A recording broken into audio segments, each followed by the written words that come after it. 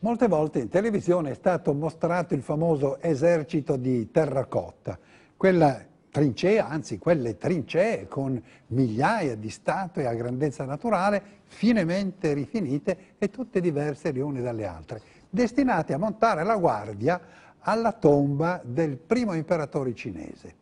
È una scoperta recente avvenuta per caso negli anni 70 da un contadino eh, che scavava un pozzo. Quello che si è capito in seguito è che questo esercito era solo una delle tante cose disposte intorno alla tomba dell'imperatore. Una tomba che ancora non è stata aperta e che si pensa contenga veri e propri tesori. È una sepoltura scavata nel cuore di una collina e poi ermeticamente chiusa. È un po' l'equivalente di una grande piramide naturale. La puntata che vedrete ora racconta la storia di questo imperatore della Cina, Shi Huangdi, una storia davvero straordinaria e che mostra anche lo strenuo tentativo di quest'uomo, davanti al quale tutti dovevano sprostrarsi, inchinarsi, che combatte l'unico nemico invincibile e che non potrà vincere, la morte.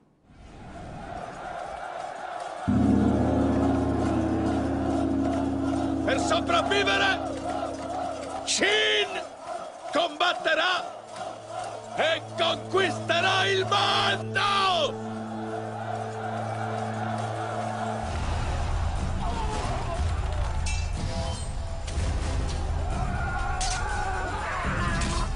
Vi trovo in Cina in un luogo molto speciale.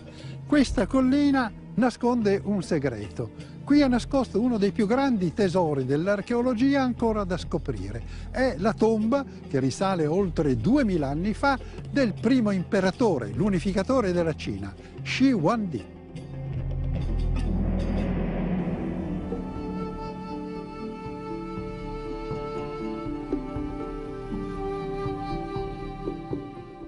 È una tomba che attende ancora di essere aperta e che contiene forse dei reperti inimmaginabili.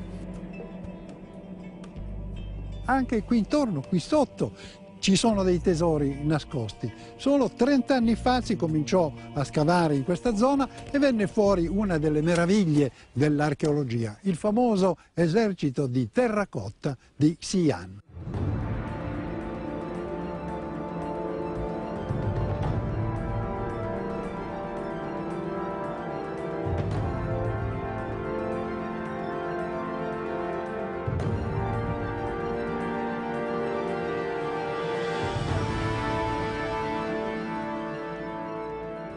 Questi soldati, alti due metri, furono collocati proprio a difesa della tomba dell'imperatore.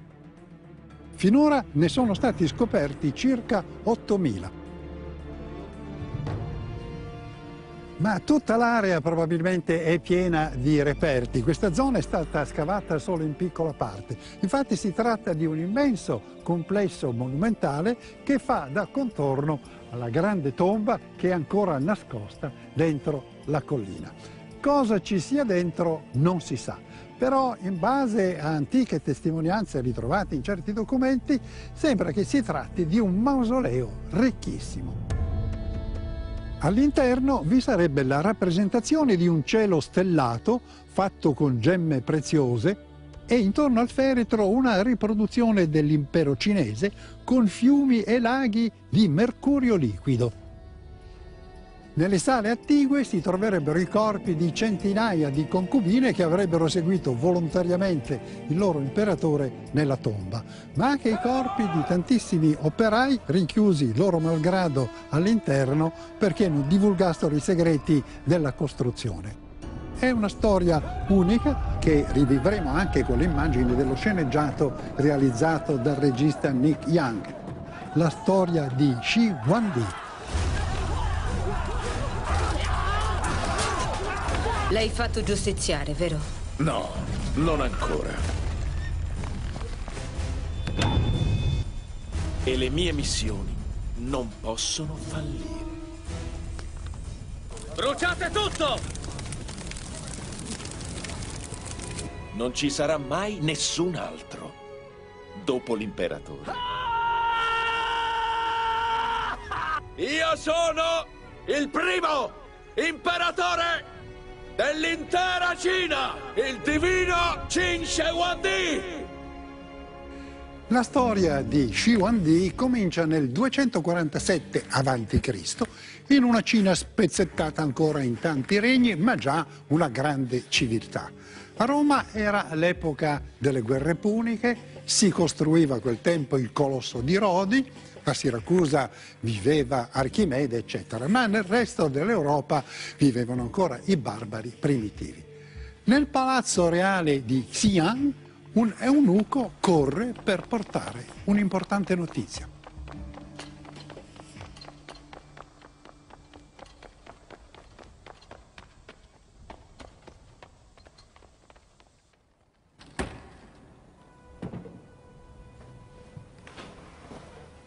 Maestà, il re è morto. Lunga vita al re. Il re Ying Gen ha solo 13 anni e a corte è circondato da squali assetati di potere. Mio adorato figliolo, mi dispiace tanto. Ora dovrei essere forte. Sua madre, la regina, da molto tempo ha un amante, il consigliere del precedente re, Lu Buwei. Siamo qui per te.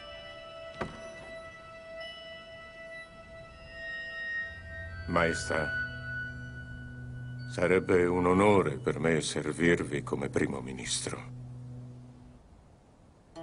Maestà, È ancora presto per parlare di questo. Ma dovresti confermare lo zio Lu Buwei come primo ministro, non appena puoi. È la cosa migliore, credimi.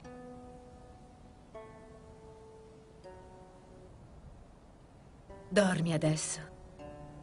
Buonanotte. vi servirò e vi guiderò come un padre. Le cose però non sono mai come appaiono, specialmente in una corte imperiale dove anche le ombre spesso complottano. Per Lu Buwei questa è infatti l'occasione perfetta per mettere finalmente le mani sulle redini dello Stato. È il nostro momento per governare. E mi serve soltanto la sua nomina. Lascia fare a me. Buonanotte. Le nazioni, come il Qin, vivevano da sempre sotto un ordinamento feudale, governate da uomini simili a Lu Buwei. Ma c'era una rivoluzione in arrivo che avrebbe posto fine a tutto questo. Prima nello stato di Qin e poi nell'intera Cina.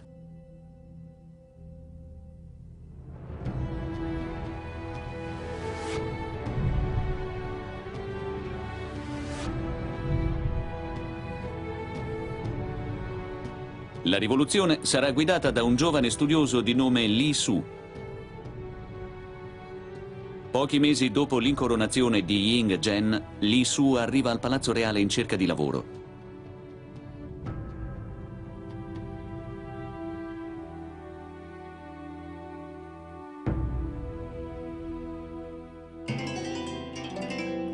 Li Su è un personaggio molto particolare, è un uomo ambizioso che non si ferma davanti a niente.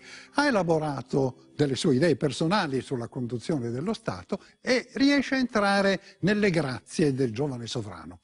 Attraverso lui riuscirà pian piano a plasmare il futuro della Cina.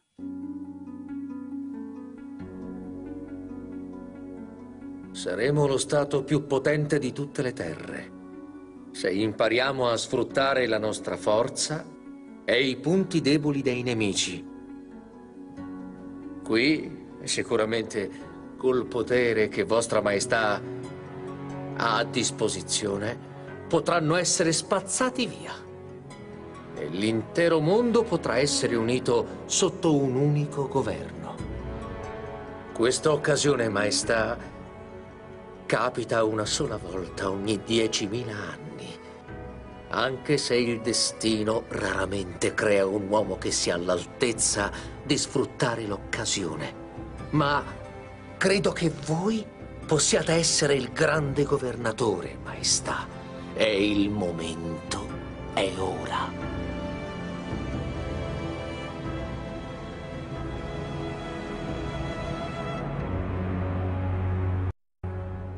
Il giovane imperatore è influenzato profondamente dalle idee e dagli orizzonti di gloria che gli lascia intravedere lì su.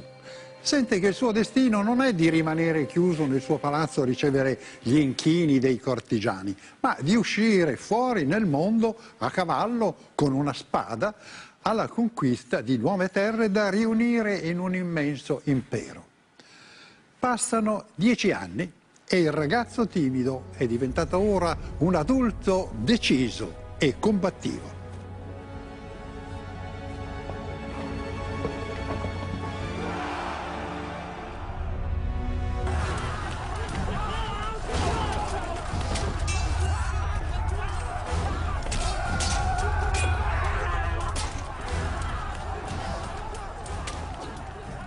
Un decennio dopo l'ascesa al trono, Re Ying Gen combatte per la sopravvivenza del suo stato e per realizzare un sogno.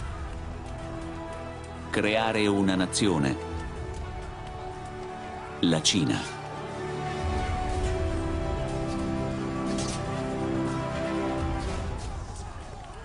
Molti altri grandi re prima di lui ci hanno provato e hanno fallito.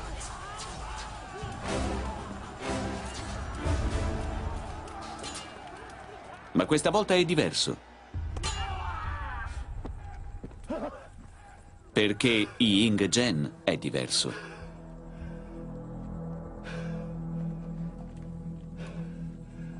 È il più giovane re ad aver mai condotto la propria nazione in guerra. È un guerriero forte, un comandante ambizioso e motivato da una consapevolezza precisa. Se c'è un uomo che può unificare la Cina, è lui.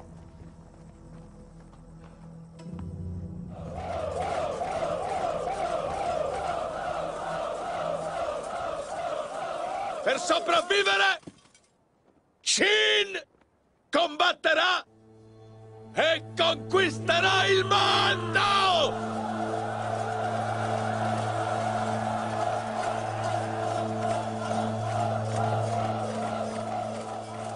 Ying Gen era determinato a creare l'impero col sangue, la crudeltà e la forza del suo esercito.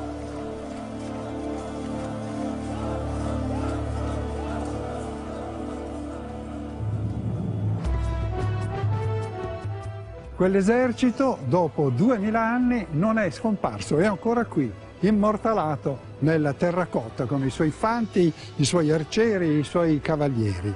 È come un fotogramma del passato, con questi 8.000 soldati raffigurati esattamente come erano all'epoca. Anzi, la disposizione in cui si trovano ci permette di avere un'idea di come era allora la formazione di un esercito in battaglia. La prima linea era formata da tre file di balestrieri, gli artiglieri dell'epoca. Le balestre venivano utilizzate per evitare il corpo a corpo e potevano scagliare frecce oltre i 200 metri. Subito dietro seguivano i cavalli con i carri, le macchine mobili con ufficiali e comandanti a bordo e la fanteria a piedi in fila per quattro.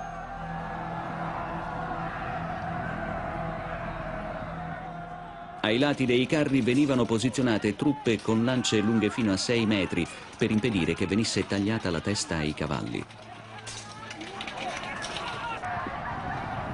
Questa armata pietrificata è rimasta sepolta qui in trincea per oltre 2000 anni. Nessuno sospettava che poco sotto la terra dove si coltivavano i legumi, dove cresceva il fieno, ci fosse un intero esercito in armi fin quando nel 1974 un contadino scavando per costruire un pozzo fece questa clamorosa scoperta. Quel contadino, eccolo qui. Buongiorno, Buongiorno, ah, piacere. Allora, ci vuole raccontare come sono andate le cose quella mattina? Negli anni 70, in un periodo di siccità, la nostra squadra aveva deciso di scavare un pozzo. Il terzo giorno, mentre stavamo finendo il turno di lavoro, la mia zappa ha urtato contro qualcosa.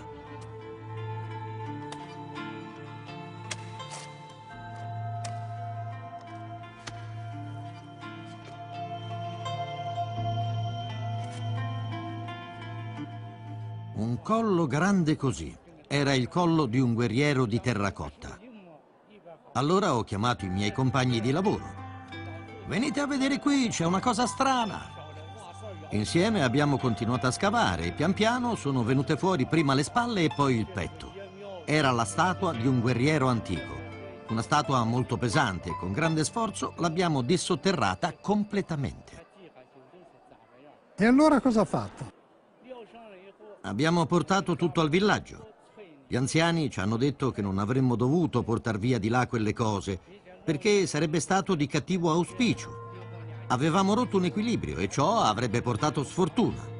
Allora io ho caricato su tre carretti tutto quello che avevamo trovato e l'ho portato alla stazione di recupero, poiché erano cose di proprietà dello Stato.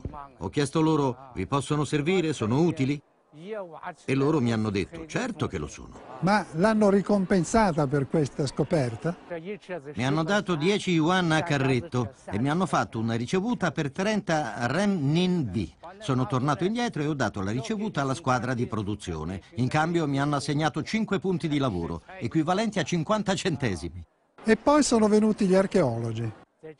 Dopo qualche giorno sono venuti i capi e ci hanno detto che non bisognava più scavare. È arrivato anche l'esercito e la guardia civile e hanno circondato tutto il perimetro. Poi sono arrivati gli archeologi. Dove è avvenuto esattamente il ritrovamento? In quel punto, è in quel punto che ho trovato una statua. La statua che ho trovato ora si trova nel museo di Xi'an.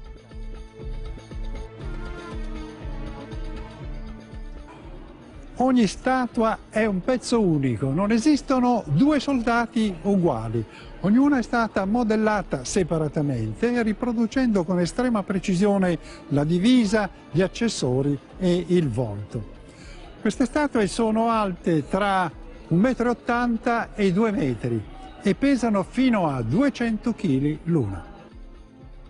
Da 30 anni è in corso un lavoro immenso di restauro, un lavoro che impegnerà probabilmente ancora diverse generazioni, anche perché si scoprono sempre nuovi reperti.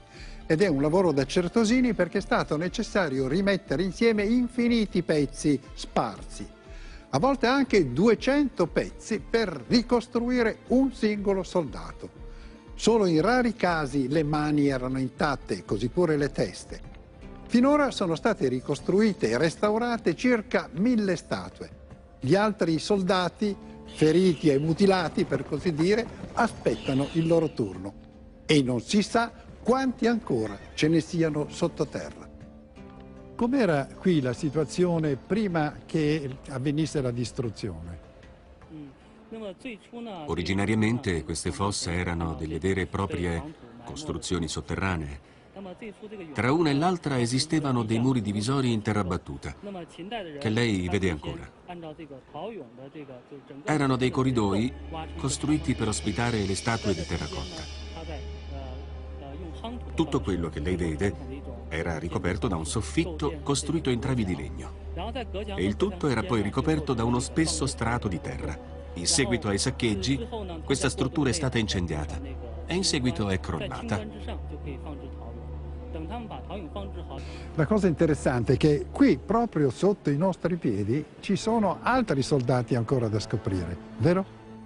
Sì, ma come lei ben sa, gli scavi possono creare danni enormi ai ritrovamenti in particolare quando si tratta di reperti in terracotta. Per questo noi lasciamo intatti molti siti e non procediamo agli scavi per preservare queste opere dal degrado, lasciando così alle generazioni future questo compito, quando esse disporranno di tecniche più avanzate. Nell'area che lei vede qui intorno, per il momento non scaviamo più. Ma in passato non c'è stato mai qualche tentativo di penetrare all'interno eh, della tomba dell'imperatore, così come è avvenuto per le piramidi egizie. Le fonti storiche riferiscono effettivamente di tentativi di profanazione della tomba dell'imperatore avvenuti nell'antichità. Però dalle esplorazioni archeologiche e dalle nostre indagini non risulta in realtà che nessuno sia riuscito a entrare nella tomba dell'imperatore. Quindi riteniamo che ad oggi il mausoleo della collina non abbia subito alcuna violazione.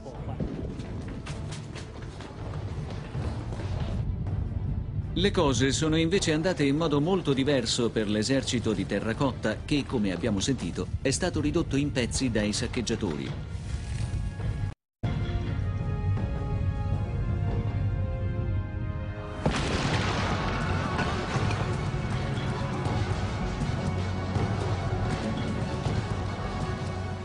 Gli archeologi oggi, scavando nelle trincee, hanno trovato non soltanto cocci, ma anche qualcos'altro di prezioso. Quando si osservano i soldati dell'esercito di terracotta, e qui ne abbiamo un gruppo molto bello, un cavaliere, un balestriere, un arciere, un fante e un alto graduato, forse un generale, beh, si rimane rapiti dalla loro bellezza. Ma passa in secondo piano un dettaglio fondamentale. Non hanno le armi. Insomma, si tratta di un esercito disarmato. Che fine hanno fatto queste armi che si sa erano micidiali? Beh, come è noto, queste armi sono sparite, sono state portate via dai saccheggi dell'antichità. Ma le armi sono solo un esempio di quanto fossero abili i cinesi nel lavorare il bronzo. In effetti conoscevano praticamente tutti i segreti, o quasi, della sua lavorazione ed erano in grado di realizzare non solamente delle armi, ma anche e soprattutto dei capolavori artistici di una raffinatezza assoluta come questi che vedete qui esposti in una mostra allestita nelle scuderie del Quirinale, una mostra sui capolavori della Cina. Sono oggetti di epoche diverse, ma che ci testimoniano l'altissimo livello delle conoscenze di lavorazione raggiunto dai bronzisti cinesi. Come questo ariete in bronzo dorato, ha quasi 2200 anni, e il dorso ruotava capovolgendosi e si trasformava in una lampada d'olio. Oppure questo brucia profumi in bronzo finemente decorato e sormontato da un uccello con le ali dispiegate. Questo secchiello conteneva sostanze alcoliche derivate da cereali fermentati e veniva usato come uno strumento liturgico durante le cerimonie. Questi strani oggetti che vedete sono delle campane, campane di bronzo. Hanno tanti spuntoni, protuberanze e colpendone in punti diversi si ottenevano suoni diversi. Ma forse l'oggetto di bronzo più sorprendente e anche più elegante è questo animale fantastico, immaginario, eh, metà volatile e metà cervo. E sapete a cosa serviva? Era un supporto per un tamburo. È alto un metro e mezzo e una volta era totalmente ricoperto da intarsi di pietre preziose e anche di oro. Le conoscenze nella lavorazione del bronzo permettevano non solamente di realizzare degli oggetti eh, estremamente raffinati e bellissimi, come abbiamo visto, ma anche oggetti in serie. E quando si trattava di armi, erano degli oggetti davvero micidiali. Gli armaioli dell'imperatore Qin erano infatti in grado di mantenere la stessa qualità nel lavoro a catena di montaggio e le forme erano così perfette che i prodotti in serie non differivano neppure di un millimetro. Così realizzarono decine di migliaia di punte di frecce e di meccanismi di scatto di balestre. Ancora oggi è facile immaginare l'effetto devastante che avevano queste armi. È con queste armi e con questi soldati che il giovane re parte per le sue battaglie. Il progetto è grandioso, quello di conquistare tutti i vari regni in cui è divisa la Cina e riunificarli sotto un solo dominio, creando per la prima volta un impero. Il suo impero. Spinto dal suo consigliere Li Su, comincia presto la sua lunga campagna di conquiste. La strategia è quella di mangiare, uno alla volta, tutti gli altri regni. Bene! Avete vinto!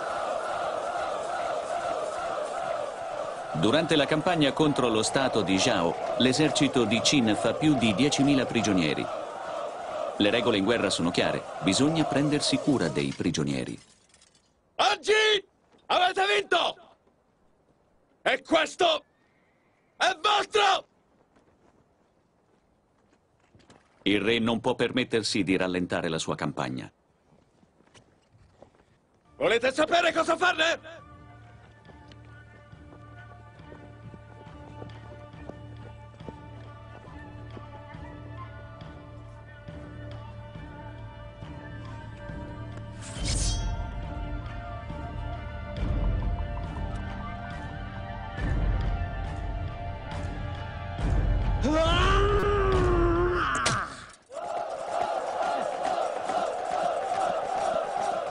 Così 10.000 prigionieri vengono giustiziati. L'imperatore rinfodera solo momentaneamente la spada, una spada che provocherà immensi massacri. C'è solo un modo per affrontare la debolezza! Imparare a sfruttarla!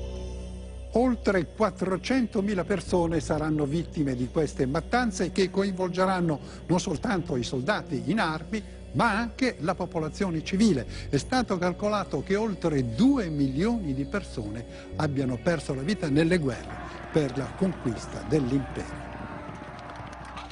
Nessuno riesce più a fermare il giovane sovrano e i suoi nemici a questo punto si moltiplicano, all'esterno e all'interno. Persino certi cortigiani tramano nell'ombra per opporsi al potere assoluto che ha acquisito.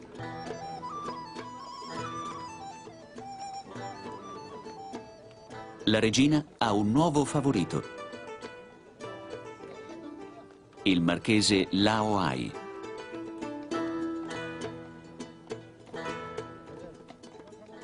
A corte è risaputo che Lao Ai è un eunuco e appare strano che la regina con un passato ricco di grandi amanti abbia scelto proprio lui. Ma in realtà Lao Ai non è un eunuco. Lui e la regina hanno due figli che allevano di nascosto. E Lao Ai intende far salire al trono uno di loro.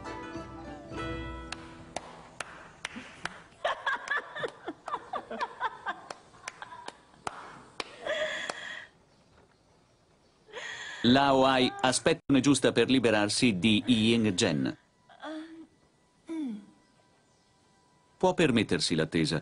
I figli sono ancora molto piccoli.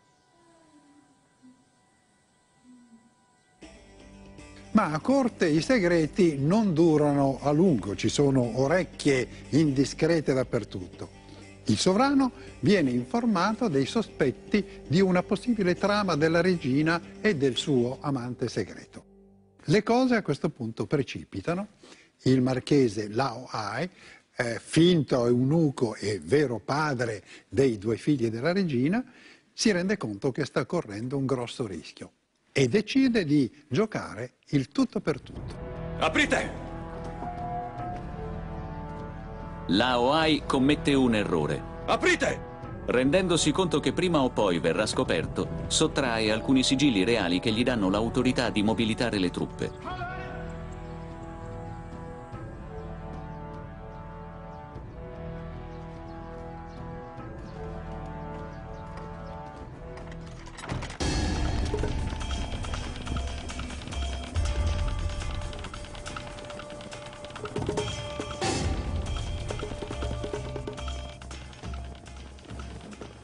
Forze armate dei distretti sotto il comando di Lao Ai si appostano intorno al Palazzo Reale.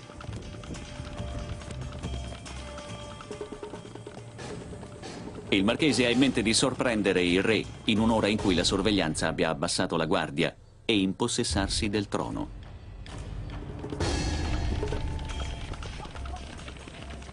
Le forze di Lao Ai non incontrano resistenza mentre si avvicinano al palazzo. E quando ciò accade è troppo tardi per ritirarsi. Cadono dritte nella trappola.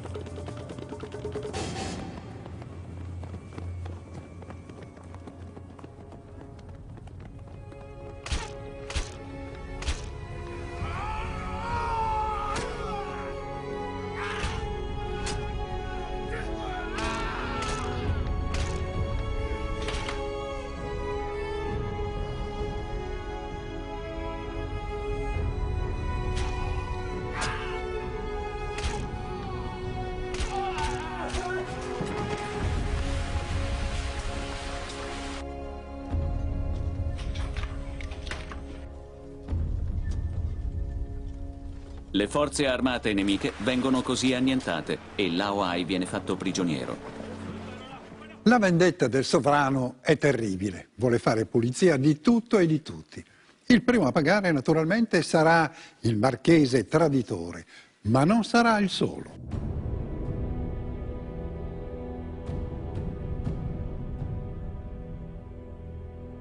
Preparate le corde! Vicinate i cavalli! Legatelo! Perché non me l'hai detto? Tirate, tirate! Di Lauai. Più forte! Di Laoai? Di Lubuei? Non sono la prima regina ad avere un amante. Più forte! Tu hai fatto molto di più, mamma. L'esecuzione di Lao Ai è destinata a lanciare un messaggio molto chiaro.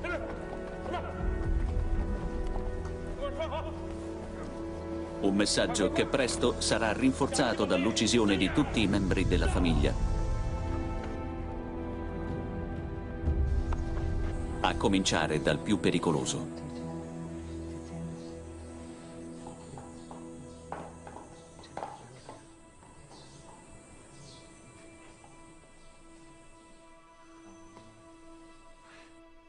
Vuoi giocare? Sì, giochiamo. E i bambini? Temevo che li vedessi come una minaccia. Non lo sono. Non più.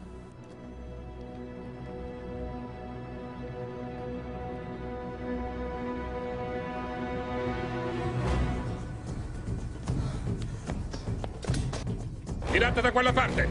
E voi da quello!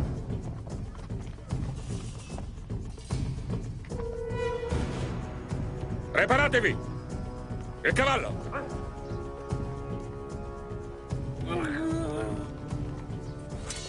Preparatevi!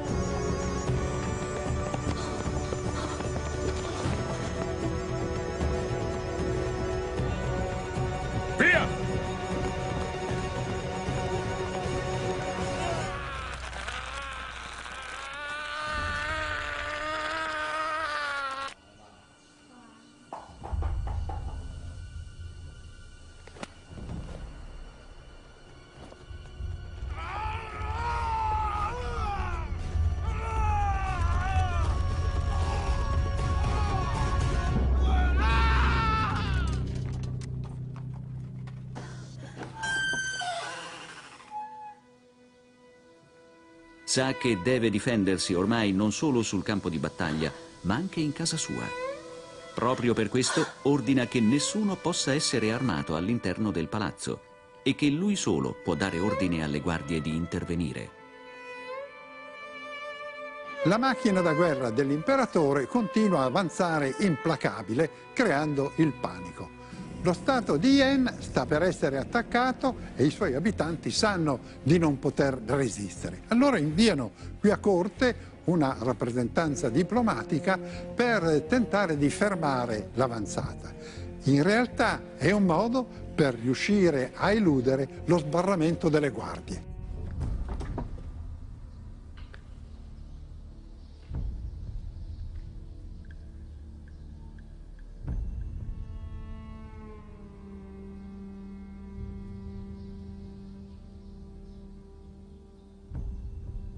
Avvicinatevi.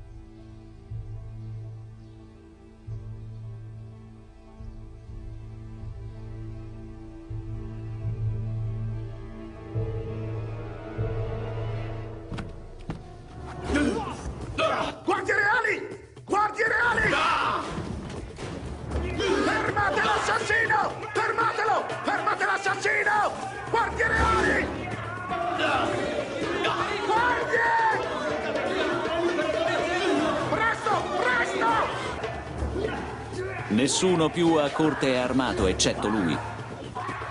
E nessuno, a parte lui, può radunare le truppe.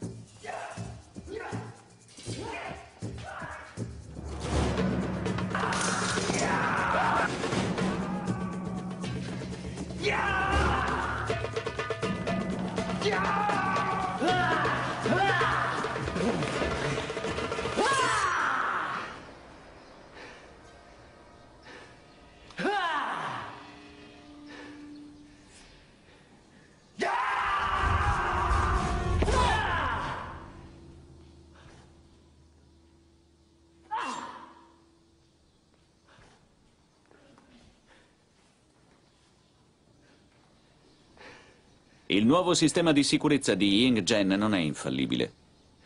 Il grande conquistatore, l'invincibile re, si è trovato a pochi passi dalla morte e ne è consapevole. Dove eravate? Alana! Maledetti incapaci! Idioti! Le campagne militari intanto continuano folgoranti e già quattro stati su sei hanno capitolato e lo Stato di Yen ha pagato duramente il suo attentato contro il futuro imperatore. Però per la prima volta il giovane sovrano si trova di fronte a una resistenza mai incontrata prima, perché lo Stato di Chu ha mobilitato addirittura mezzo milione di uomini per fermare la sua avanzata. L'esercito di Chu ha già respinto una prima invasione ed è preparato a farlo di nuovo. Mezzo milione di soldati Chu minaccia di porre fine al sogno di Ying Zhen. Nel disperato tentativo di sconfiggerli, l'imperatore impegna tutte le risorse che ha a disposizione nuovi equipaggiamenti, armi migliori e un altro mezzo milione di soldati. 223 a.C. L'esercito Qin appare deciso ad assediare il regno di Chu.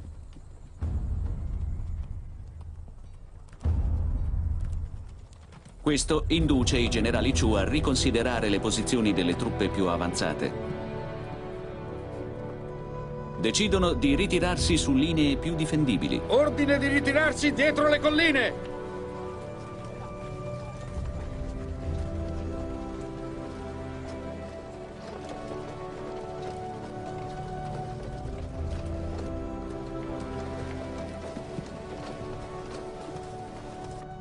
Ora l'esercito Qin finge di accamparsi. In realtà è pronto ad agire.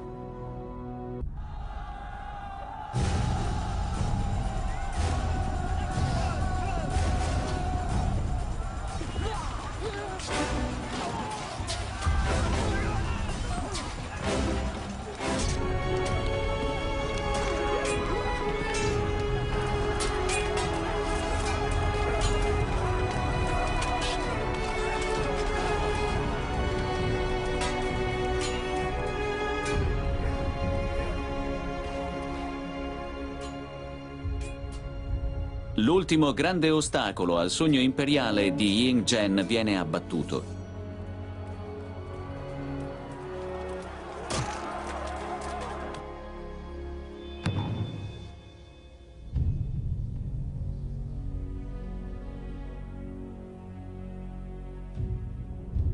L'unico stato rimasto indipendente, il regno di Qi, soccombe senza lottare. Prima della fine del 221 a.C., il sogno di Ying Zhen si concretizza. Il regno di Qin diventa la Cina. La sua Cina. Le guerre sono finite e il sovrano pensa ora a costruire la sua gloria anche attraverso monumenti che ricordino per sempre la sua opera e il suo regno. La capitale deve ormai trasformarsi in una città all'altezza di questa grandeur. Oggi non ne rimane più traccia, ma certi modellini ritrovati nelle tombe lasciano supporre come avrebbe potuto essere l'aspetto degli edifici che ornavano l'antica Xi'an. Una testimonianza della grande abilità degli architetti e degli artigiani dell'antica Cina la si ha visitando oggi il Tempio della Misericordia, che si trova in una località fuori dai grandi percorsi turistici a nord di Pechino.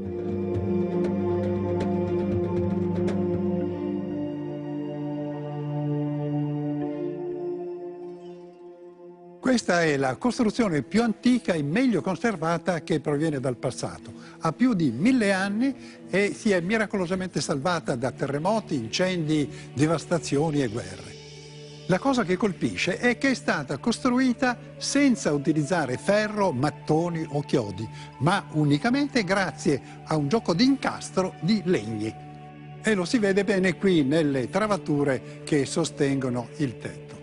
La grande statua alta 18 metri da secoli continua a impregnarsi dei fumi delle candele e degli incensi che ancora oggi i devoti accendono ai suoi piedi. Questo tempio di oltre mille anni fa ci lascia intuire qual era la raffinatezza degli artigiani e degli artisti dell'antica Cina e molti si chiedono se la tomba dell'imperatore non nasconda altri tesori ancora da scoprire. Quanto ancora c'è da scoprire sottoterra, oltre all'esercito di terracotta? Beh, molto, moltissimo. In effetti alcuni ritrovamenti hanno fatto capire che l'esercito di terracotta non è la sola meraviglia sepolta, ce ne sono tante altre come quelle che vediamo qui esposte in questa bellissima mostra sulla Cina alle scuderie del Quirinale.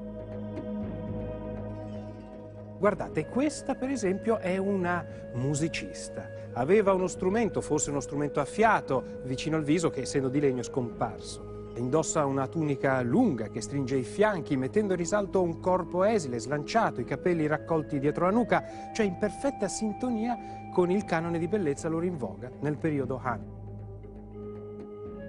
Non era la sola, altri musicisti sono stati rinvenuti, proprio risalenti all'epoca dell'imperatore Qin. Anzi, è un po' come se questo imperatore avesse voluto circondarsi di una sua corte virtuale, che stesse vicino a lui anche dopo la morte. In questo senso c'erano anche dei funzionari e degli eruditi, riconoscibili da uno speciale attrezzo, un raschietto raffigurato sulla cintura che serviva per correggere gli errori eh, di scrittura sulle tavolette di legno. Queste statue sono state riportate alla luce solo di recente, in una fossa situata all'incirca mezzo chilometro dal grande tumulo. Nell'angolo destro, infatti, hanno notato un corridoio e dentro gli architetti dell'imperatore avevano ricreato un intero paesaggio fluviale. Ed ecco una di quelle straordinarie gru di bronzo. È stata ritratta nell'atto di catturare un pesce e sembra reale, anzi sembra quasi che sia stata pietrificata in quest'atto. In tutto, pensate, sono stati ritrovati più di 40 volatili di bronzo, alcuni ritratti mentre dormivano, altri mentre nuotavano, eccetera. E tutti erano messi in fila lungo questo ruscello sotterraneo, questo sì, era vero. Queste sculture di bronzo sono davvero delle meraviglie, ma rimangono molti punti oscuri sul modo col quale le hanno realizzate. A tal punto che alcuni restauratori del Museo Centrale di Magonza, in Germania, si sono recati direttamente in Cina, sul posto, per rimuovere le tracce di corrosione e scoprire alcuni segreti della loro antica lavorazione. Una lavorazione avvenuta, pensate, più di duemila anni fa. Anche per quanto riguarda l'esercito di terracotta, le sorprese non sono finite. In effetti gli esperti, gli archeologi, hanno individuato non meno di 160 altre fosse da dover scavare, tutte comprese in un'area di poco più di 2 km quadrati. E forse riemergeranno dei capolavori come questo splendido carro da battaglia, una quadriga con i suoi occupanti. Naturalmente tutte le parti di legno sono scomparse ma è rimasta intatta la tensione dell'auriga, dei due soldati a bordo e degli animali pronti a scattare all'attacco esattamente come facevano 20 secoli fa. Quindi c'è forse ancora molto da attendersi da questi scavi, magari con nuovi corpi d'armata sotterranei. Intanto c'è una curiosità. Non lontano dagli scavi, qui a Xi'an, stanno emergendo altri soldati, non dal sottosuolo, ma dai forni di questa fabbrica che sta costruendo copie delle statue a tutto spiano.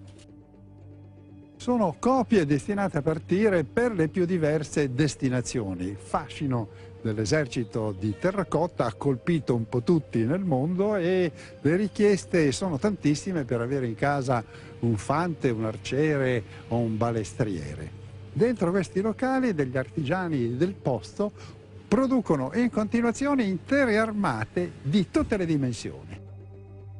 L'argilla è la stessa, viene lavorata con dei calchi e poi rifinita a mano. Come quelle originali anche queste statue sono montate in quattro pezzi. I forni sono ancora molto semplici e funzionano a carbone. La temperatura viene portata fin quasi a 1000 gradi e la cottura dura 5 giorni. La tecnica probabilmente non è molto diversa da quella che veniva usata in passato.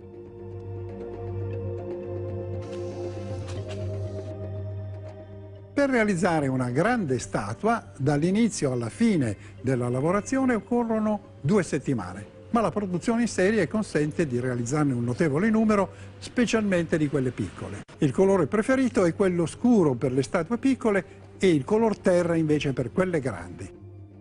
A proposito di colore, va detto che in origine queste statue erano tutte colorate e in base agli studi fatti si è riusciti anche a capire qual era la policromia.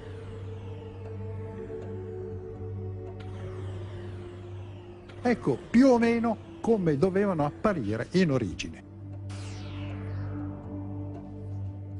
Queste statue vengono spedite in America, in Europa, in Australia, ma anche in molte parti della Cina. Il costo di un generale alto quasi due metri è di 600 euro più 120 per la spedizione. L'imperatore non avrebbe mai pensato che l'armata che aveva messo a difesa della sua tomba un giorno si sarebbe moltiplicata e sarebbe partita verso altri paesi lontani per un nuovo tipo di conquista, quella dei mercati dei souvenir. Ma c'è un'altra scoperta enigmatica che esce dagli scavi, quella di centinaia di armature vuote in pietra sono state ritrovate in pezzi vicino alla collina dove si trova ancora nascosta la tomba dell'imperatore. Si pensa che ve ne siano tantissime di queste armature vuote, forse addirittura decine di migliaia. Qual è il loro significato? Secondo certi esperti si tratterebbe di un'offerta votiva per le anime di soldati rimasti uccisi in battaglia e senza sepoltura che potrebbero vendicarsi e che invece, in questo modo, possono ritrovare idealmente il luogo della loro pace eterna. L'imperatore ormai ha raggiunto tutti i suoi obiettivi militari e politici ed è diventato onnipotente e vuole che anche gli abitanti delle terre che ha sottomesso lo vedano come un essere quasi sovrannaturale, una specie di semidio. Perciò deve assumere un titolo capace di evocare queste sue nuove qualità, un titolo che deve essere scelto con molta cura. All'età di 38 anni, Ying Zhen viene incoronato con il velo delle stelle, simbolo della divinità del primo imperatore della Cina.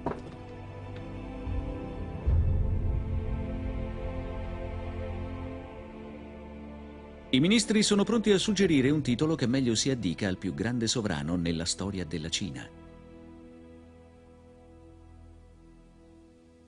Vostra Maestà, noi ministri abbiamo riflettuto per molte settimane e abbiamo raccolto alcuni titoli di personalità del passato, adatti alla vostra magnificenza. Titoli come il celeste sovrano, il sovrano delle terre e il grande... Suo nonno! Il primo grande divino imperatore, l'autorità suprema dell'intera Cina unita. Chiamò se stesso Qin Shi Huangdi, che tradotto letteralmente significa primo Augusto, cioè divino imperatore della dinastia Qin. E mio figlio sarà il secondo divino imperatore. E suo figlio il terzo e così via, per diecimila generazioni a venire. Dietro l'imperatore c'è sempre il grande suggeritore, Li Su, che ormai è la nuova potenza dietro il trono. Ha messo a punto un programma politico per distruggere il passato feudale della Cina. I ministri pensano ancora di nominare a capo dei feudi dei parenti della famiglia imperiale, ma per loro e per i parenti dell'imperatore c'è una brutta sorpresa. A capo dei feudi ci saranno d'ora innanzi soltanto dei funzionari fedeli. Illustre, divino e supremo imperatore, il vecchio feudalesimo è indebolito. Raccomandiamo quindi che i nuovi signori feudatari siano nominati tra i giovani della famiglia imperiale. I ministri danno per scontato che il sistema feudale continui dopo l'unificazione, che poteri e privilegi sottratti ai nemici dell'imperatore appartengano ora alla famiglia imperiale. Attendiamo il consenso della vostra maestà. Ma ricevono una brutta sorpresa. Lì su. Solo a Li Su è ben chiaro il nuovo indirizzo politico, perché è lui che l'ha ideato.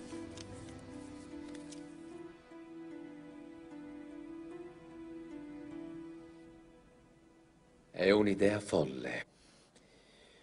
Abbiamo combattuto incessanti guerre per lunghi secoli a causa dei feudatari e adesso che li abbiamo eliminati, volete crearne di nuovi. Ma questi sarebbero membri della famiglia imperiale. Esatto. L'unica forza che in migliaia di anni è riuscita a creare la pace è il potere divino dell'imperatore.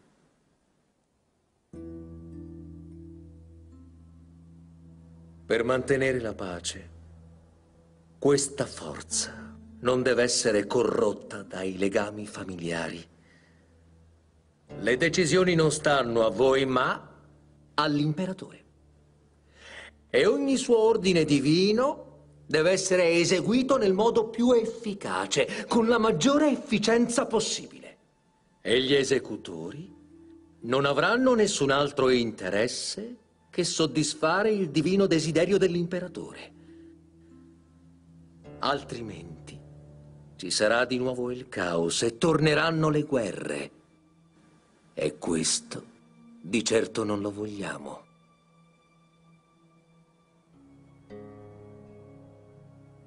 Eccellente. Ha ragione. Il ministro della giustizia ha ragione. Nominerò personalmente sei governatori per ognuna delle sei regioni dell'impero. 36 in tutto. Che ovviamente è sei volte il numero degli stati da me conquistati. Ah, ve l'ho mai detto? Sei è il mio numero preferito. È una vera rivoluzione perché si passa da un sistema feudale governato dai nobili, dall'aristocrazia, a un sistema centralizzato dove tutto è sotto gli ordini diretti del sovrano. Ordini che arrivano capillarmente ovunque su un territorio vastissimo. Professor Stantangelo, Piacere. buonasera. Allora, lei è un profondo conoscitore della Cina, è uno storico. Quello che sta avvenendo in questa ha delle radici su fatti profondi, ma soprattutto anche su un fatto tecnologico, cioè l'invenzione del ferro e le sue conseguenze in agricoltura e non solo. Perché? Certo, il passaggio dal bronzo al ferro porta una nuova tecnologia, in agricoltura innanzitutto, con eh, l'invenzione dell'aratro a trazione animale che aumenta la produttività nei campi. E questo cosa porta? E questo porta una, mh, delle trasformazioni sociali, pensi- si pensi all'aumento del, eh, dei proprietari eh, terrieri e del nuovo assetto del lavoro nel- nelle campagne. Quindi i nobili perdono il loro ruolo. E perdono il loro ruolo. Il ruolo loro diminuisce anche nell'esercito, perché l'invenzione di nuove armi, in modo particolare la spada, aveva eh, ridimensionato il ruolo della cavalleria, che era invece il nerbo dell'esercito e che rappresentava il ruolo importante dell'aristocrazia in campo militare.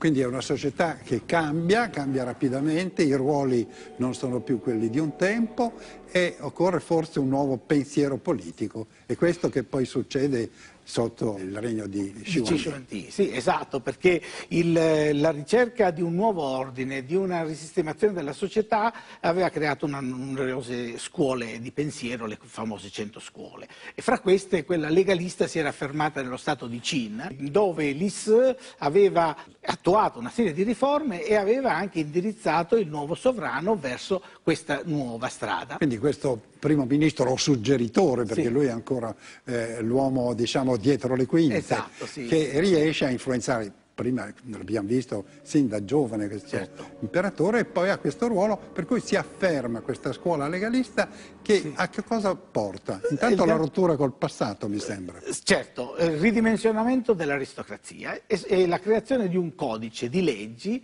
scritte che valgono per tutti gli stati della società. Cioè una specie di costituzione nuova, per così dire. Sì, esatto, che quindi eh, ridimensioni il ruolo degli aristocratici e che eh, si basi sul principio che eh, esistano delle, delle norme che se seguite portano dei premi, se invece infrante portano delle punizioni anche severissime. Uguale per tutti, una Uguale legge che non distingue più eh, tra chi è esente e chi no, ma eh, sì. che si estende a tutti. Insomma, l'uomo forte con un potere forte è una legge molto forte. E questa è la nuova Cina che cerca ora sì. di riunificarsi non solo militarmente e politicamente, ma anche in tanti campi. Vediamo come. Sì. I sette stati un tempo indipendenti sono riuniti in un'unica nazione, la Cina con circa 59 milioni di abitanti. La nuova struttura amministrativa dà al paese un'impronta unitaria che rimarrà per sempre fino ai giorni nostri. Oggi, dopo vari spostamenti, la capitale si trova a Pechino e ogni giorno migliaia di cinesi vengono a visitare quella che è stata per oltre mezzo millennio una grande reggia per gli imperatori, fino all'ultimo imperatore. Infatti qui fino agli inizi degli anni venti risiedeva l'ultimo sovrano della Cina, l'ultimo figlio del cielo.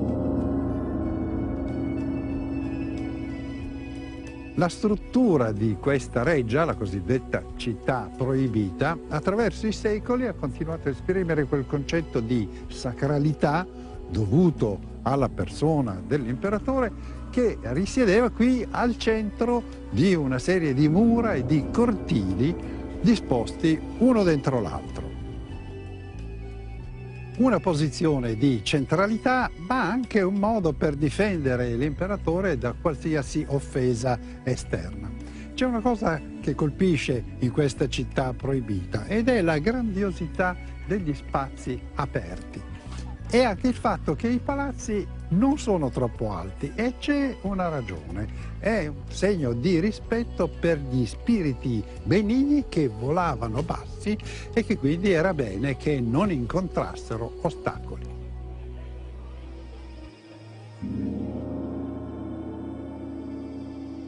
Questa città è grandissima, comprende addirittura 8700 stanze e vi abitavano oltre ai familiari dell'imperatore, soldati, funzionari, concubine e 3.000 eunuchi.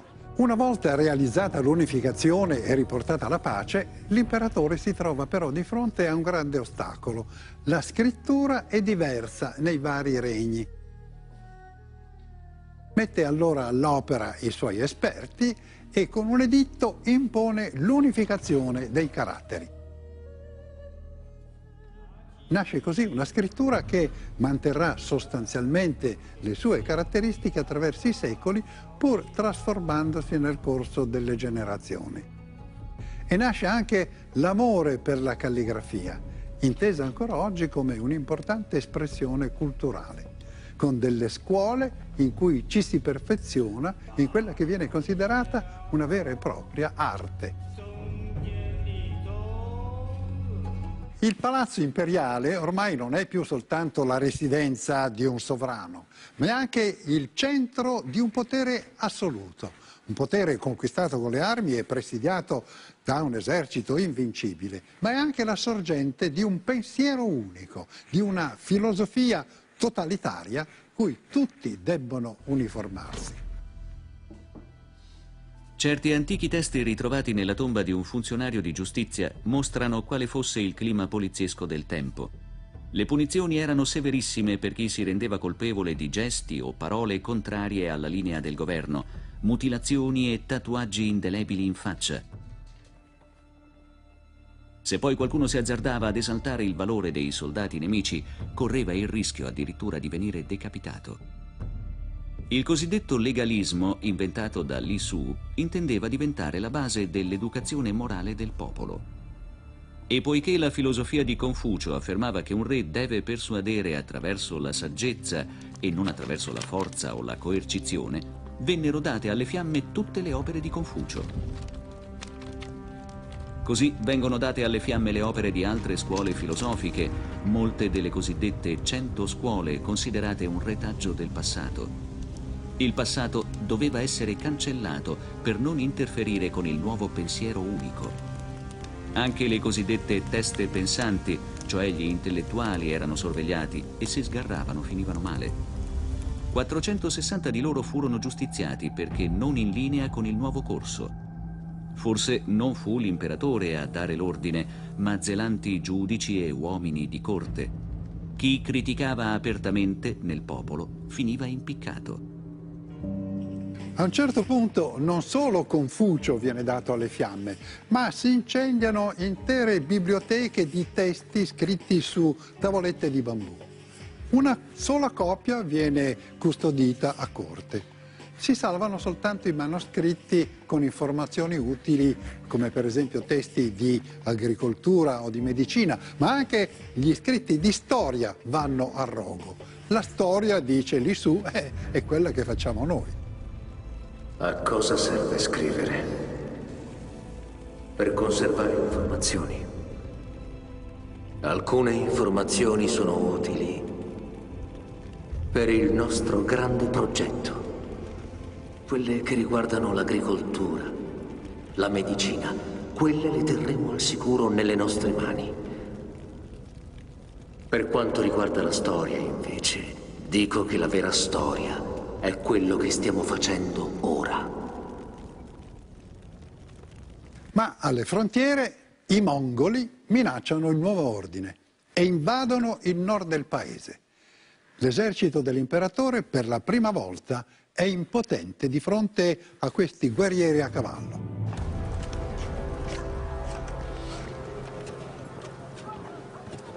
Da secoli i confini settentrionali della civilizzata Cina vengono devastati da tribù nomadi.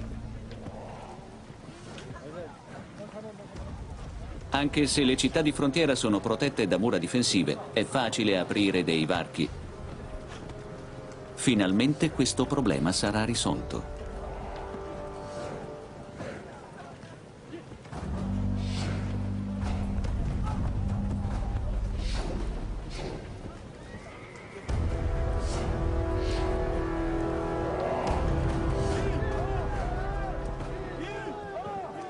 La manodopera non manca e si può iniziare a dare il via al più grande progetto di ingegneria del mondo antico. Una barriera continua e inespugnabile per sigillare l'impero. La grande muraglia cinese.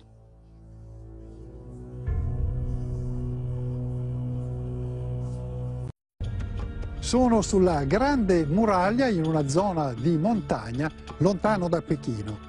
Da questo punto si ha una bella immagine di questa straordinaria costruzione che l'imperatore Shi Huangdi realizzò oltre 2000 anni fa.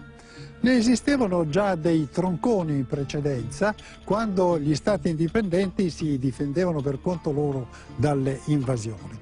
Ma con l'unificazione del paese, Shi Huangdi costruì un'unica muraglia lunga ben 5.000 chilometri.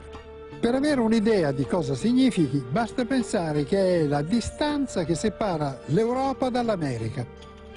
L'altezza varia tra gli 8 e i 10 metri e sopra corre praticamente una lunghissima strada, in molti tratti larga ben 6 metri, una larghezza che permetteva a due carri di incrociarsi. Infatti questo non era soltanto un muro, era una specie di caserma a forma di serpentone, con i soldati continuamente appostati grazie a un sistema di torri di guardia. In questo modo i difensori potevano muoversi rapidamente lungo tutta la muraglia e concentrarsi là dove gli invasori cercavano di superarla. Gli invasori erano i nomadi che abitavano le regioni del nord e che cercavano continuamente di razziare i ricchi territori delle pianure. Arrivavano a cavallo e portavano via beni, animali, donne e uomini da ridurre in schiavitù. Shiwandi per sterminarli inviò un esercito di 300.000 uomini. Ma non era facile stanare questi nomadi a cavallo in continuo movimento. E per questo alla strategia dell'attacco unì quella della difesa costruendo questa grande muraglia. Per farlo fu necessario mobilitare un numero immenso di uomini. Oltre agli operai c'erano soldati, schiavi, prigionieri e chi si ribellava poteva pagare molto cara la sua disobbedienza, con i lavori forzati, a volte anche con un marchio a fuoco. Fu un lavoro massacrante che coinvolse nel momento di massimo sforzo circa un milione di individui. Su queste montagne bisognava portare pietre, mattoni e materiali da costruzione lungo ripidi sentieri in salita, portando i pesi sulle spalle o con ceste sulla testa e a volte pietre pesanti una tonnellata, grazie a tronchi usati come rulli e bisognava lavorare su ponteggi instabili, appesi su precipizi. Il prezzo pagato in termini di morti per incidenti, malattie o sfinimento è terribile. Decine di migliaia, forse centinaia di migliaia di persone persero la vita. Alcuni sembra furono sepolti proprio dentro la muraglia durante la costruzione, quindi i loro corpi sono rimasti per sempre inglobati in quest'opera gigantesca che per dimensioni è analoga, forse superiore a quella delle piramidi egizie. Sono stati compiuti degli studi per quanto riguarda le tecniche di costruzione da parte di archeologi e ingegneri. Ecco i risultati di queste ricerche. La prima grande muraglia era costruita in terra locale e pietra. Nei lavori di restauro attuali si segue lo stesso procedimento di costruzione dell'epoca Qin. La terra viene prelevata a circa 12 cm sotto la superficie per essere sicuri che sia priva di erbacce e radici.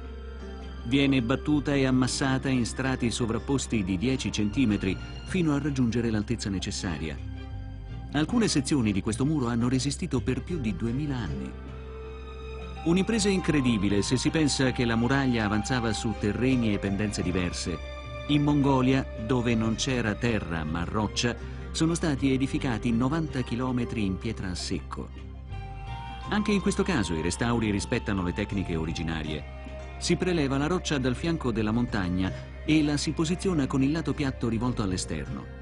Nelle intercapedini, per rafforzare la struttura, vengono immessi i frammenti di roccia più piccoli. Questa porzione di muraglia raggiungeva i 6 metri di altezza, ma con le torri di avvistamento arrivava a 8 metri. In 10 anni Shi Huangdi fa edificare 5.000 km di muraglia con una media di 41 km al mese e un chilometro e mezzo al giorno.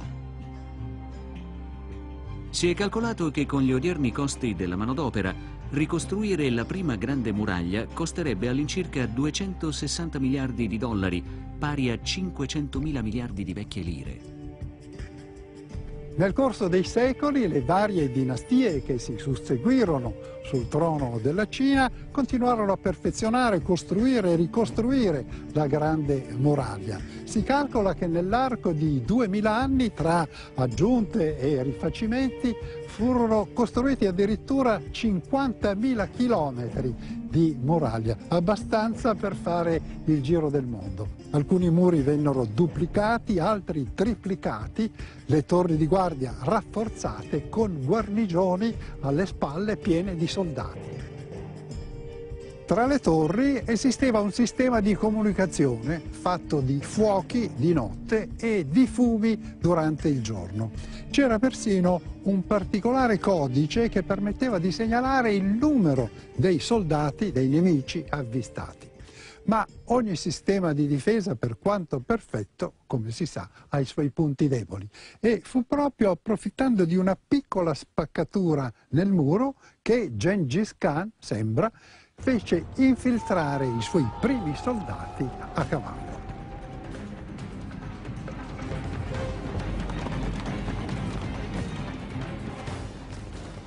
Fu l'inizio di una grande azione di conquista che permise a questo nomade mongolo di diventare all'inizio del 200 il nuovo imperatore della Cina, creando un impero che per dimensioni fu il più grande mai esistito sulla Terra, che andava dalle coste del Pacifico fino alle porte di Vienna. Un impero che sarebbe molto piaciuto a Shi Huangdi.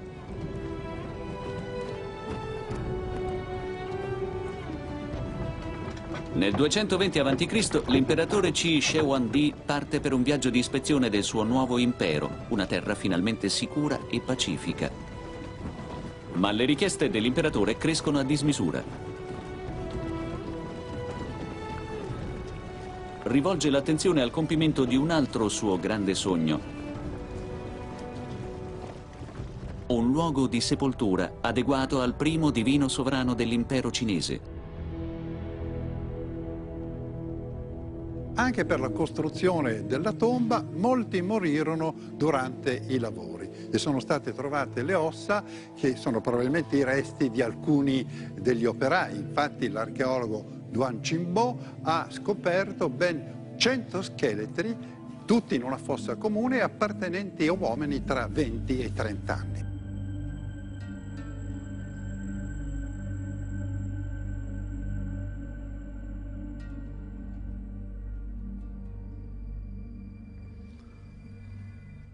Dall'analisi delle ossa è emerso che al momento della morte queste persone avevano tra i 20 e i 30 anni e che in maggior parte erano denutriti.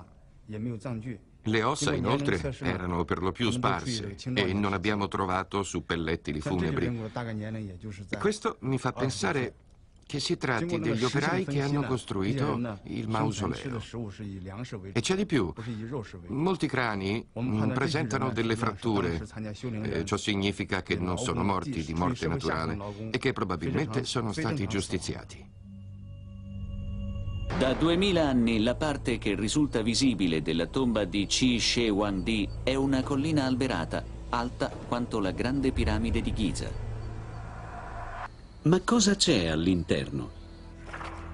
L'unico documento esistente che lo racconta risale a cento anni dopo la morte dell'imperatore. Ecco qual è la descrizione che ne fa. Nella volta è rappresentato un cielo stellato con gemme incastonate nel soffitto.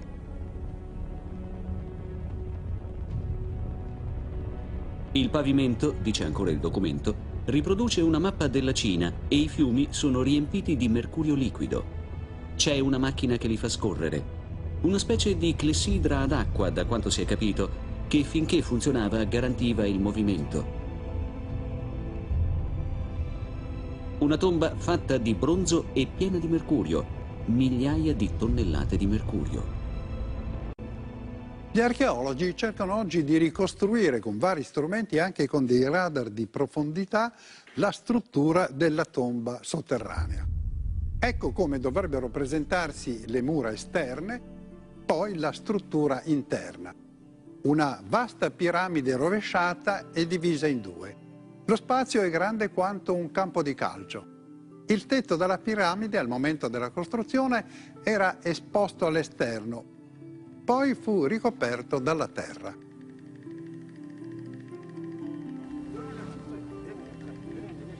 Questo tumulo è stato esaminato dagli scienziati per dieci anni e sono stati compiuti ben 4.000 carotaggi del terreno ricercando le tracce di eventuali vapori risaliti dal sottosuolo per capire se potrebbe essere vera la descrizione che nella tomba si trovano fiumi di mercurio.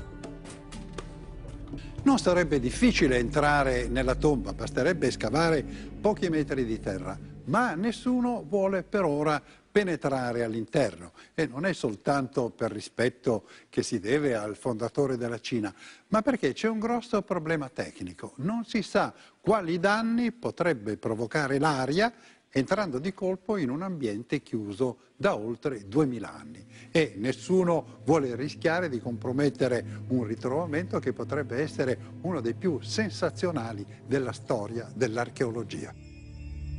La tomba dell'imperatore infatti potrebbe nascondere molte altre cose visto l'immenso apparato che la circonda. Gli archeologi però non vogliono correre rischi e non cominceranno a scavare fin quando non avranno tutte le informazioni e i mezzi necessari per evitare qualunque danno a questo straordinario sepolcro al mercurio. Il mercurio, questo strano metallo liquido che si scompone e si ricompone formando aggregazioni e palline, beh, aveva affascinato eh, gli antichi che lo avevano definito argento vivo. Sembrava una materia magica e proprio per questo ha avuto un ruolo importante, ma anche tragico, come vedremo, nella vita dell'imperatore. Shi Huangdi infatti è ossessionato dall'idea della morte ha vinto tutto, ha ottenuto tutto quello che voleva dalla vita, ma sa che non può vincere la morte. E allora si rivolge ai medici di corte perché gli suggeriscano dei rimedi che possano almeno allungargli la vita. La prima ricetta che gli consigliano è molto gradevole, il sesso, sesso con più partner. Non è un problema perché l'imperatore dispone di un vasto harem e quindi è un farmaco molto abbondante, a portata di mano per così dire. Ma Shiwandi si lascia sedurre dalla ricetta di un nuovo medico che gli prescrive una terapia a base di mercurio.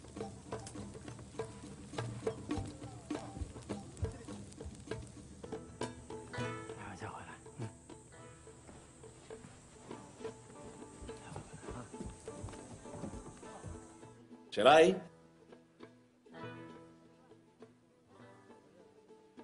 Sì, maestà. Funzionerà?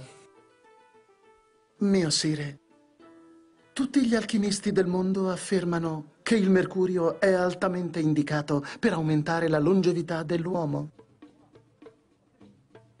Il corpo umano non è in grado di assorbire il mercurio puro, perciò esso veniva mescolato con composti facilmente digeribili, Forse l'imperatore assumeva proprio uno di questi composti.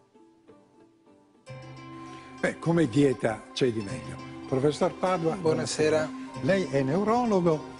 Eh, noi non sappiamo esattamente come siano andate le cose, ma in quale maniera il mercurio può essere assorbito o ingerito? Eh, essenzialmente per via inalatoria, quando il mercurio è nella sua forma essenziale, di metallo essenziale, cioè l'argento vivo, come L'argento vivo, esattamente. Quello che si trova nei termometri, che tra l'altro è stato eliminato recentemente. Sì, proprio, perché... proprio per i rischi di intossicazione. Quindi inalando quest, eh, questo mercurio questo... che ha dei vapori, si può, si ci può. si può intossicare. Ma non ingerendolo, lei Esatta, Esattamente, perché in realtà attraverso il, il sistema gastrointestinale l'assorbimento è assolutamente minimo. Quindi questo è un modo per assorbire... In questa forma. Abbiamo visto che prendeva queste specie di caramelle qui l'imperatore, quindi c'è anche un altro modo per... Sì, potrebbe essere un composto di sale inorganico e quindi in quel caso l'assorbimento attraverso il, il, il tubo digerente è molto elevato.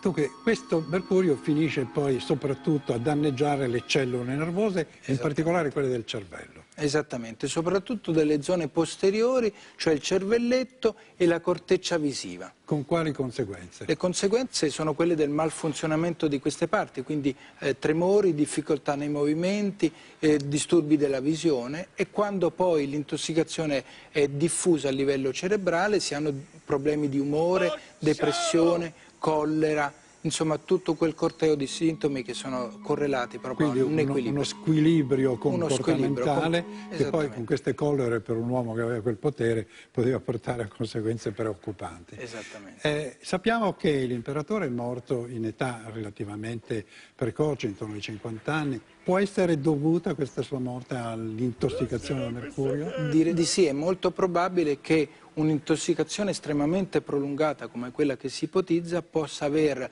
eh, diciamo, coinvolto anche le vie respiratorie, il, eh, il tubo digerente con gravi danni che possono anche portare Quindi è un avvelenamento generale dell'organismo. Esattamente. Grazie professore. Di niente. A un certo punto all'imperatore Shi Huangdi la longevità non basta più, vuole l'immortalità. Xufu, si può sapere da dove viene questa immortalità? Dove posso trovarla? Perché a me, al primo divino, supremo imperatore di tutta la Cina, non è concessa? E se non ce l'ho io? Chi ce l'ha? Sire, c'è che parla di un posto dove vivono degli immortali, un gruppo di isole chiamate Penglai, dove dimorano gli immortali dalla notte dei tempi. Si dice che abbiano due tipi di elisir, uno per frenare la fuga dell'anima sul punto di morte e l'altro... Portameli. Maestà? Tu vai lì, prendi gli elisir e li riporti qui. E poi li somministrerai personalmente a me. Maestà, ma eh, dove siano queste isole nessuno lo sa e anche se lo sapessi non avrei i mezzi per arrivarci. Avrai tutto ciò che ti serve. Sì, maestà. Questa è una missione imperiale e le mie missioni non possono fallire. No, maestà. Credi in me? Sì, maestà. Vai. Un piccolo esercito accompagnerà Xufu nel suo viaggio alla ricerca dell'immortalità. Migliaia di giovani uomini e donne vengono reclutate per aiutarlo a trovare le isole di Penglai.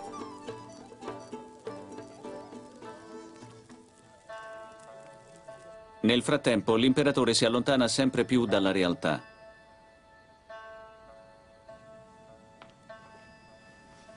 E assumere il mercurio di certo non lo aiuta.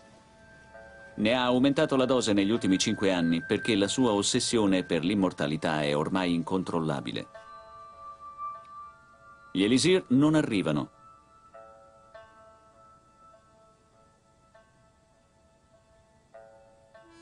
E il mercurio, più che prolungargli la vita, sembra provocare l'effetto opposto. Portalo via. Vive ormai immerso nelle sue ossessioni, ha paura della morte, ha paura dei morti, ha anche paura dei complotti. Quando deve muoversi fuori dalla capitale, gira con una scorta di 60.000 uomini. Nessuno riesce a vederlo. Viaggia in una carrozza chiusa. Altre carrozze simili percorrono strade diverse. Nessuno sa in quale si trovi l'imperatore. È stato trovato un modello in bronzo della carrozza nei pressi della tomba.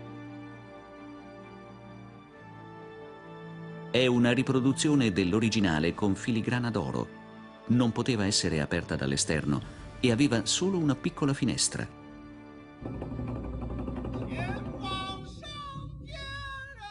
Wang Di vive ormai in un mondo di ombre. I personaggi intorno a lui sembrano quasi mossi da forze superiori oscure che sfuggono alla sua capacità di dominarle. In ogni situazione, in ogni gesto, cerca di capire, di individuare dei messaggi divini. La sua mente ormai sta vacillando, i suoi pensieri appaiono e svaniscono un po' come in un teatro d'ombre quei teatri d'ombre che molti secoli dopo continueranno a parlare di lui inserendo il suo personaggio nel repertorio. E qui a Xiang, non molto lontano dalla sua tomba, degli abilissimi artisti raccontano, fanno rivivere la sua storia utilizzando questa tecnica molto antica. Il teatro cinese d'ombre è un'invenzione che risale a oltre 2000 anni fa era la televisione del tempo. Qui vediamo in azione sei artisti, a volte sono anche dodici, e i gesti devono essere veloci e precisi perché è un susseguirsi di movimenti che debbono poi integrarsi in sincrono, un po' come una orologeria. La scena che qui vediamo è quella dell'attentato all'imperatore, quando dei falsi diplomatici fingono di portare dei doni, ma in realtà sono dei sicari venuti per assassinarlo. Le marionette che vengono utilizzate per queste rappresentazioni sono dei piccoli capolavori e vengono realizzate con una tecnica molto antica. La cosa curiosa è che la pelle che eh, serve per sagomare i personaggi è molto speciale è la parte intermedia della pelle del bue, che viene raschiata e resa sottilissima, eh, addirittura trasparente, in modo che i colori possano passare. Per dare rilievo alla luce, ogni marionetta è come un finissimo ricamo, lavorato con infinita pazienza e con un gran numero di strumenti. È un'arte che si tramanda da una generazione all'altra, non esistono scuole, gli specialisti sono pochissimi e oggi sono protetti dallo Stato. In un mondo in cui il grande schermo del cinema e il piccolo schermo della televisione dominano incontrastati, il teatro d'ombre quindi non è completamente scomparso.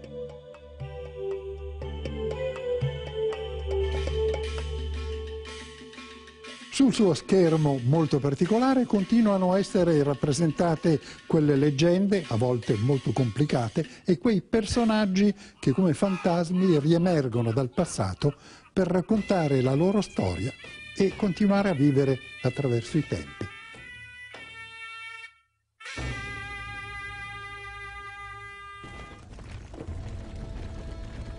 Dalla spedizione per cercare l'elisir dell'immortalità, nessuna notizia le isole non si trovano.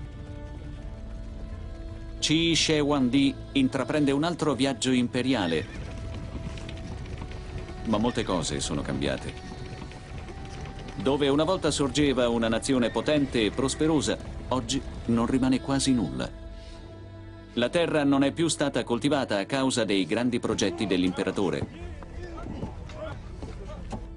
La carestia incombe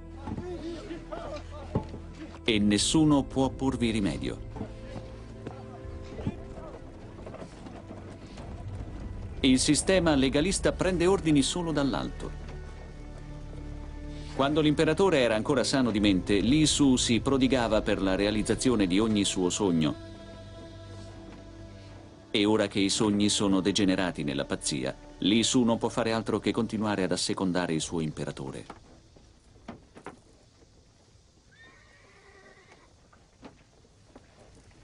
Lì su?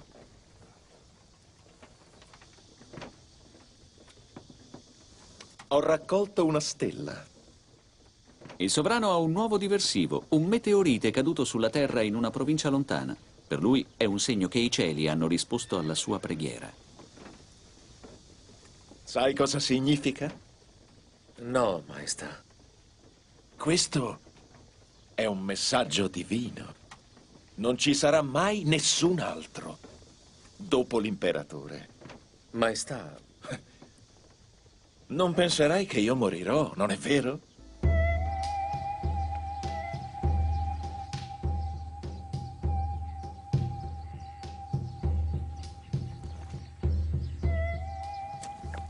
Secondo i documenti storici, l'imperatore raggiunge l'isola di Zifu a largo della costa cinese nel decimo mese del 210 a.C.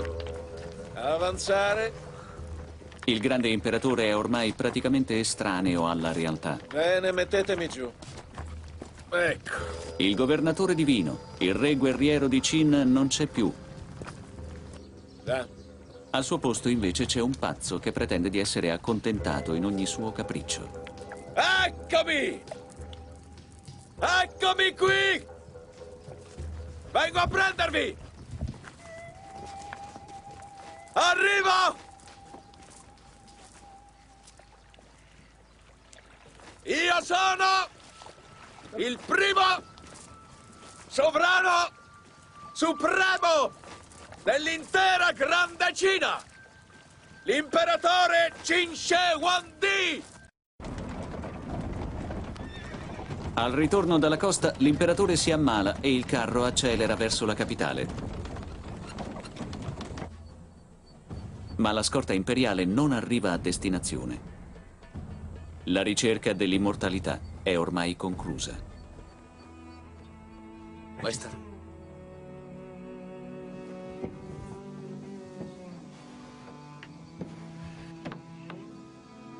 Maestà. Shi Huangdi muore a 49 anni. Il grande impero ha perso il suo creatore. Lo Stato si ritrova senza timoniere.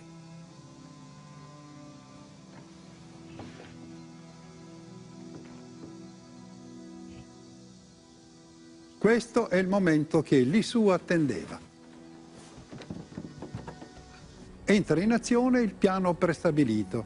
Il piano è quello di evitare che salga al trono il figlio maggiore, troppo prepotente e arrogante, e che sia invece il figlio minore a diventare il nuovo sovrano.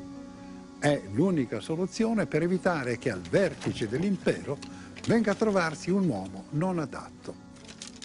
Lissu e il suo fedele segretario sanno che l'imperatore ha scritto una lettera al figlio, ma non sanno se l'abbia già spedita. La lettera è ancora lì.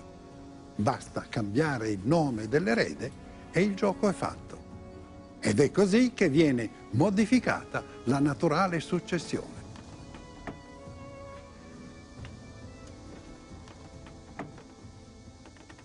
Comincia così il viaggio di ritorno e nessuno deve ancora sapere che l'imperatore è morto. Ma dentro la carrozza la salma comincia a emanare cattivo odore. E allora per confondere le idee viene preceduta da un'altra carrozza che contiene pesce marcio. Nella capitale si preparano i fastosi funerali.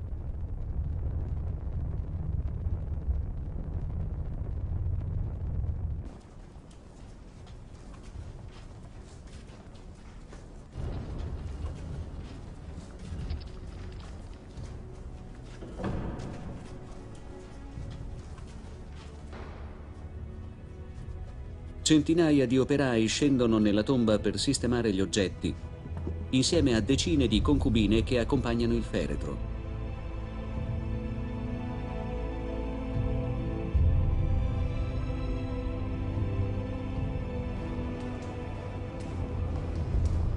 Le statue verranno poi sistemate attorno alla collina.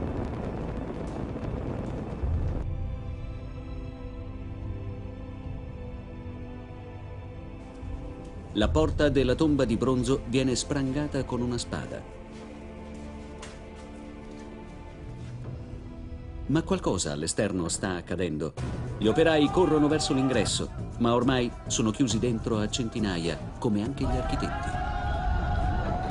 Custodiranno per sempre il segreto della tomba dell'imperatore. Tutto questo corrisponde alla verità Beh, lo si potrà sapere soltanto quando la tomba sarà aperta. C'è però un fatto che sembra confermare l'attendibilità del racconto che era stato fatto cento anni dopo la morte dell'imperatore ed è che le analisi che sono state compiute sui 4.000 campioni prelevati nel terreno sopra il sepolcro rivelano che ci sono tracce di mercurio e che esse si trovano proprio in corrispondenza della tomba.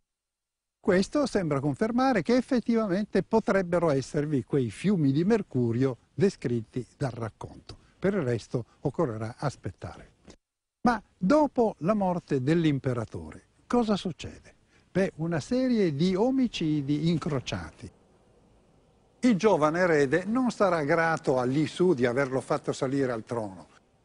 A un certo punto lo farà imprigionare e uccidere. Ma anche lui sarà a sua volta ucciso.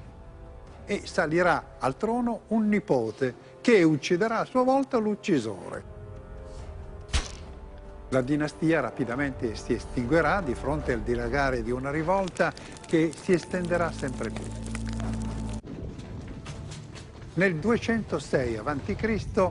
i rivoltosi entrano nella capitale e distruggono l'esercito di terracotta, impadronendosi delle armi perfettamente funzionanti.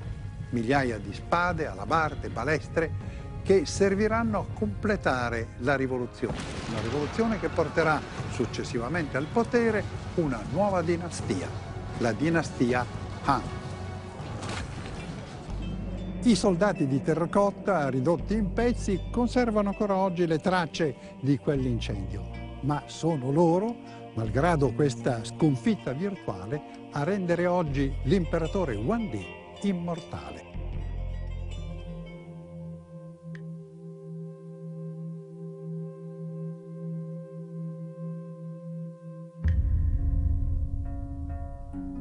E intanto l'imperatore, blindato qui all'interno della sua collina, dentro il suo straordinario mausoleo tra gemme, ori e forse fiumi di mercurio, da duemila anni continua ad attendere.